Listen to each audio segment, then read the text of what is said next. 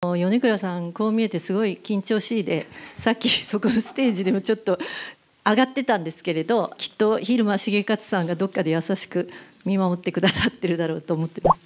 さあ本日がワールドプレミアということになります。まずはじめに一言ずついただきたいと思います。はじめに大門美智子を演じられました、米倉涼子さんお願いいたします、はい、えー、大門美智子役を演じました米倉涼子です。どうぞよろしくお願いします。今日はあの遠方から遠方から来てくださっている方もいらっしゃると思いますが、えー、完売だそうでとっても嬉しいです。皆さん、えー、ご来場どうもありがとうございます。So I'm Ryoko Yonekura, uh, play the role of Michiko Daimon, and thank you very much for coming to this event today. I, I suppose I know that there are people from who came from far away uh, uh, or long distance, and I heard the tickets are all sold off. So thank you so much.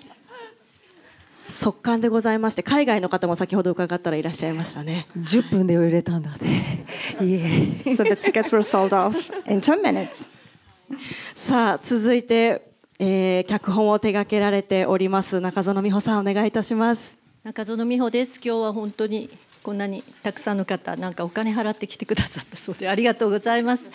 あのドクター X12 年の集大成をえー、映画にしてそれを今日初めて世界で初見ていただけるっていうんで実はあの米倉さんこう見えてすごい緊張しいでさっきそこのステージでもちょっと上がってたんですけれど私もすごく緊張してるんですけれど、まあ、きっと蛭間重勝さんがどっかで優しく見守ってくださってるだろうと思ってます。あの楽しみにしてください。So I, I am the screenplay writer, Miho Naka, Nakazono.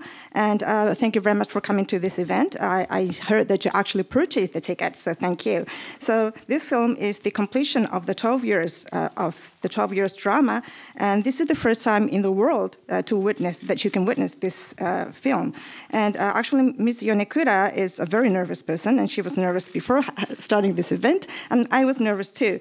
But I know that uh, Mr. Hiruma, the Dr. Hiruma, is watching us from heaven. ありがとうございます。